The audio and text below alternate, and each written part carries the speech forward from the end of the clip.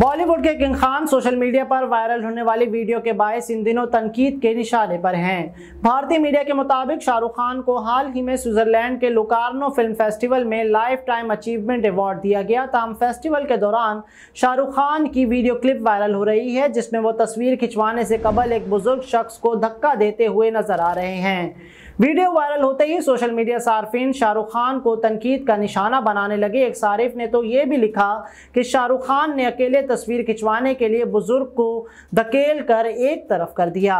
भारतीय मीडिया के मुताबिक इस तनकीद के बाद शाहरुख खान के फैंस भी मैदान में कूद पड़े और शाहरुख खान का दिफा करने लगे फैंस की जानब से वजाहत की गई कि वीडियो में नजर आने वाला बुजुर्ग शख्स शाहरुख खान का एक पुराना दोस्त है जिसके साथ शाहरुख खान की कई तस्वीर रिकॉर्ड पर मौजूद हैं एक फैन ने तो स्विट्जरलैंड में होने वाली तकरीब की ही एक और वीडियो शेयर कर दी जिसमें शाहरुख खान को रेड कारपेट पर उसी शख्स के साथ चलते हुए देखा जा सकता है